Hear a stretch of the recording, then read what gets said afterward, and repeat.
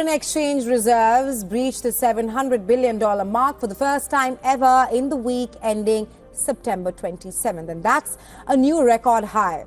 With the country's import cover hitting fresh all time highs in recent weeks. Reserve bank की dollar समेत अन्य विदेशी मुद्राओं की खरीद और रुपए के मूल्य में बढ़ोतरी वजह है बड़ी बात यह है कि भारत के अलावा दुनिया में सिर्फ़ तीन ही देश ऐसे हैं जिसमें चीन जापान और स्विट्जरलैंड है जिनका फॉरेक्स रिज़र्व 700 अरब डॉलर से ज़्यादा है। दरअसल, भारतीय रिज़र्व बैंक के आंकड़ों के अनुसार 27 सितंबर को खत्म हफ़्ते में 12.6 बिलियन डॉलर की वृद्धि के साथ ये 704.89 बिलियन डॉलर पर था। साइंस और इंटेलिजेंस और आर्टिफिशियल इंटेलिजेंस और कंप्यूटिंग फिजिक्स जो है, उनकी गेमें हैं, इनके बस, इनके पे ग्रेड से ये वो कहते हैं, ये ये ये किस ये किस खेत की मूली है? इन्हें क्या पता है? कि साइंस क्या चीज़ है? साइंस क्या खाई ये तो इनका इनके तो अपने पेट ही नहीं भर रहे। मैं हैरान हूँ। आज तक कभी किसी ने सोचा है मेरी लेगेसी क्या होगी? मियाँ नवाज़ शरीफ साहब को दुनिया में जब से चले जाएँगे उम्र क्या है उनकी? बहुत ज़्यादा उम्र है। जब दुनिया से चले जाएँगे लोग क्या याद The aid of foreign investors, the Reserve Bank of India has amassed the world's fourth highest import cover, now valued at $705 billion. The RBI uses its reserves to control the currency's uh, fluctuation. The central bank has been able to limit extreme moves in the rupee, which has fallen to near record lows. 2023-2024 में भारत की आर्थिक विकास दर 8.2 प्रतिशत अनुमान से बेहतर रही है GDP की ग्रोथ ये सरकार ने बताया है चौथी तिमाही में जीडीपी 7.8 फीसद रही है इस वक्त की बड़ी खबर आपको बता रहे हैं और ये आंकड़े जो आए हैं, उसके मुताबिक भारत की आर्थिक विकास दर आठ दशमलव दो प्रतिशत।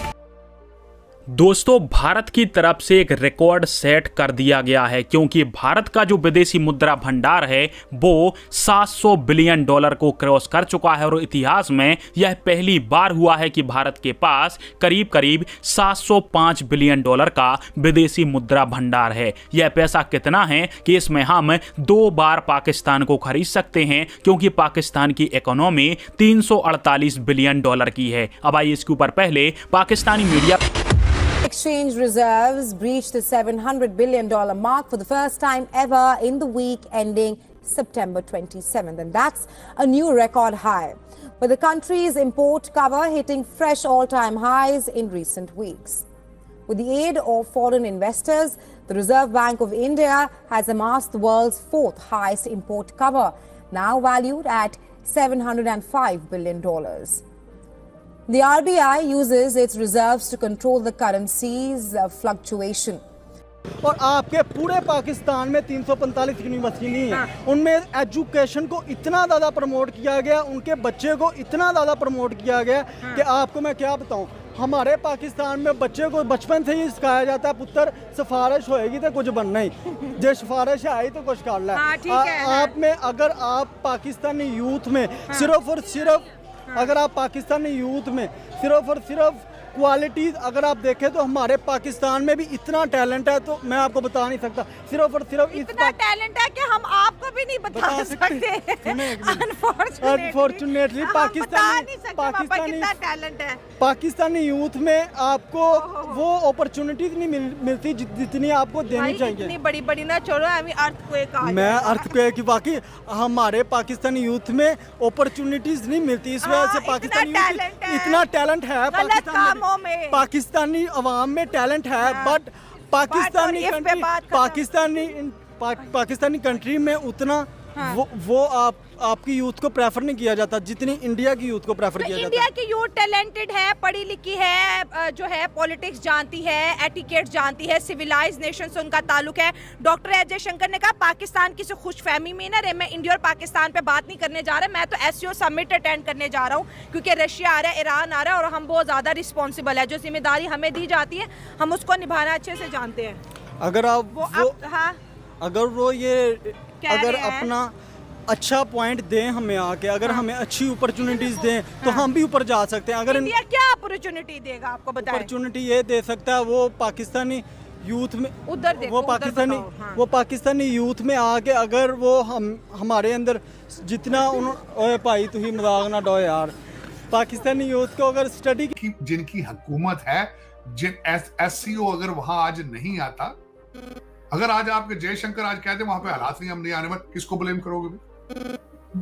आज रशियन आने से जवाब दे देते हैं, चाइना आने, किसको ब्लेम करोगे?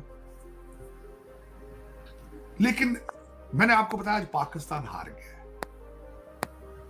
मुर्शद जीत गया है, पाकिस्तान हार गया सर उन्होंने ये तो ज़रूर कहा है कि वो हिंदुस्तान पाकिस्तान की बात नहीं करेंगे डॉक्टर जयशंकर लेकिन फिर भी यहाँ से आ, उन, उन जब वो आ रहे हैं तो उनको इस तरह से इनको अटेंड करना चाहिए कि वो कोई अच्छी यादें लेकर जाएँ कुछ पॉजिटिव लेकर जाएँ यहाँ मैं इतना खुश था यहाँ पे लोग इंटरनेशनल मीडिया लोग जो थे वो समझते थे कि दोनों तरफ़ से डिप्लोमेटिक आइस मेल्ट हो रही है। बहुत बड़ा अच्छा इसको पॉजिटिव स्टेप लिया जा रहा था लेकिन कल देख के मेरा दिल बहुत खट्टा पड़ा कि आप लोग सुधरने वाले नहीं हो। आप आप आप, आप पाकिस्तान के लिए मुखलस नहीं पाकिस्तान मैं हमेशा ये कहता हूँ पाकिस्तान को पाकिस्तानी ही बचा सकते हैं आप पाकिस्तानी नहीं। जिन्होंने ये कल ड्रामा किया है वहाँ पे डी चौक पर जहाँ जहाँ भी ये पाकिस्तानी नहीं हो सकते। इनके जहन में पाकिस्तान के लिए कुछ भी नहीं। अच्छे जो नेबर होते हैं ना, वो अपने पड़ोसियों के लिए अच्छी चीज़ें सोचते हैं, अच्छी बातें लेके जाते हैं, अच्छे मैसेज लेके जाते हैं। अच्छा आप उधर जाके कुछ भी ना करो तो यार कम अज कम किसी के लिए अच्छी सोच तो लेके चले जाओ। मीडिया भी अच्छी बात तो कर लो, ना करो कुछ। मोहब्बत का एक मोहब्बत का एक मोहब्बत का पैगाम कम अज कम दे लो। यार हो सकता है आपकी इतनी सी कोशिश से दोनों मुल्कों के मसले हल हो जाए। और हमारे ब्लॉक में ज़्यादा स्ट्रॉन्ग कंट्रीज़ हैं इसलिए कि मुस्लिम ममालिक काफ़ी पीछे खड़े हुए हैं ठीक है? और इकॉनमी के अतबार से वक्ती तौर पर मुश्किल हैं। बाकी दफाई अतबार से हम इंडिया से ज़्यादा मज़बूत हैं। एज ए कंट्री हम देखा जाए ना अगर हम उसकी औसतन एवरेज से देखा जाए कि छोटे मुल्क हैं मगर उससे ज़्यादा हम इंडिया हमारे से डरता है। ये चीज़ है। और इंडिया क्यों डरता है पाकिस्तान से? दिफाई निज़ाम बड़ा मज़बूत है। ये सब कुछ इंतशार क्यों फैलाया गया है?